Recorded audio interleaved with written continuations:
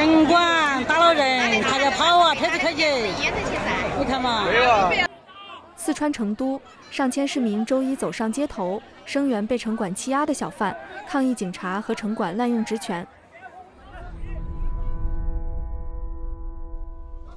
城管打了人，他在跑啊，车子开起，你看嘛，派出所的来了也不让他走，喊他把城管的打人的找出来，才让他走。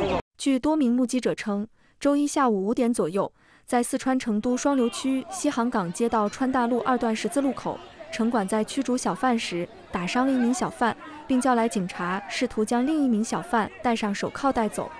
城管和警察的这一举动立即引发了路过市民的不满，他们围住了试图逃离现场的城管车辆，要求城管将被打伤的小贩送到医院救治，要求警察释放被抓捕的小贩。城管跟商贩两个，你看现在在这儿都整了，起码有。三四个小时了，我操，贵好吓人！你看一下。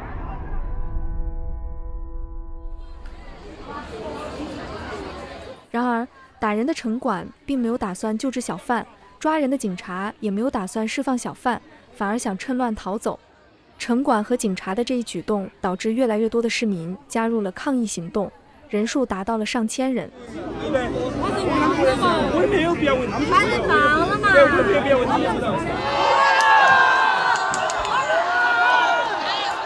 市民的抗争迫使警察释放了被抓捕的小贩。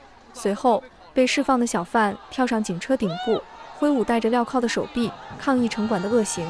他的这一举动立即引来市民的欢呼，将此次抗争行动推向了高潮。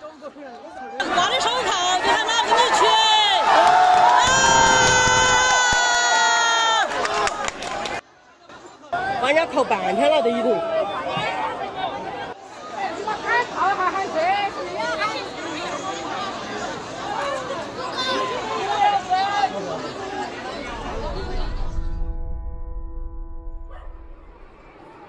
示威一直持续到当天晚上十点左右，在警察将受伤小贩送到医院救治后，市民才逐渐散去。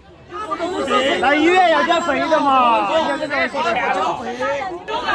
没有走哈，都在派出所，都在都在派出所，都在派出所，跟老子到派出所去嘛。